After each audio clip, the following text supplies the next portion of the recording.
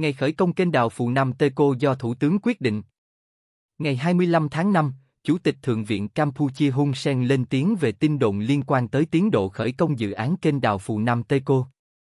Ông viết trên trang Facebook chính thức khẳng định rằng, những ngày qua, người ta đồn rằng tôi đã quyết định khởi công xây dựng kênh Phù Nam Teco vào ngày 12 tháng 6 năm 2024.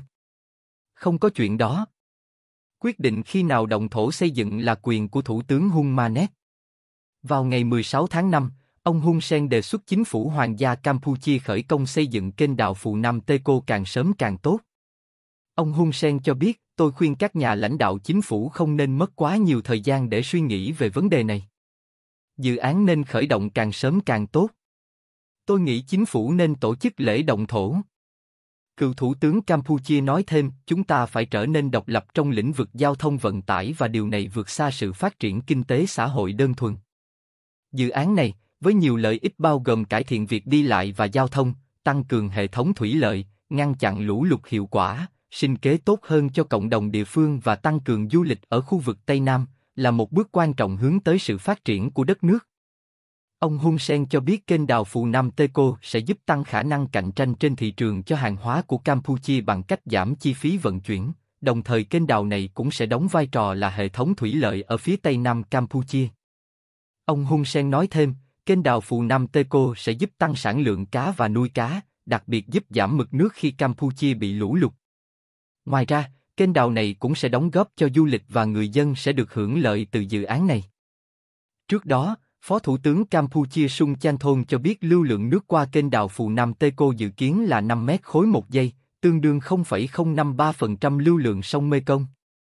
Theo ông Sun Chanthong, con kênh sẽ được sử dụng để tưới tiêu trên đất liền và đánh bắt cá. Ông cho biết tuyến đường ngắn hơn của kênh đào ra biển dành cho xà lan và tàu từ và đến Phnom Penh chở hàng dệt may và nguyên liệu thô, điều này sẽ làm giảm phát thải khí nhà kính. Ông nói thêm, dự án có sự tham gia của nhiều tổ chức như Cơ quan Hợp tác Quốc tế Nhật Bản, Ngân hàng Phát triển Châu Á, Ban Thư ký Ủy hội sông Mekong, Công ty trách nhiệm hữu hạn tư vấn vận tải đường thủy, công ty con của công ty xây dựng vận tải Trung Quốc. Kênh đào Phù Nam Teco dự kiến được khởi công trong năm nay sau khi tập đoàn quốc doanh cầu đường Trung Quốc đạt được thỏa thuận triển khai dự án tại một hội nghị sáng kiến vành đai và con đường diễn ra hồi tháng 10 năm ngoái. Dự án dự kiến được hoàn thành sau 4 năm với kinh phí khoảng 1,7 tỷ đô la Mỹ. Theo kế hoạch, con kênh sẽ có chiều rộng 100m ở thượng nguồn, 80m ở hạ nguồn, sâu 5,4 m.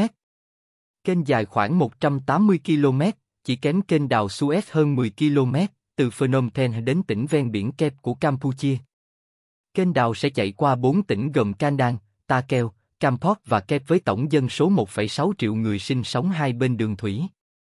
Tin do Trung tâm tin 24 giờ biên tập và xuất bản. Cảm ơn bạn đã theo dõi.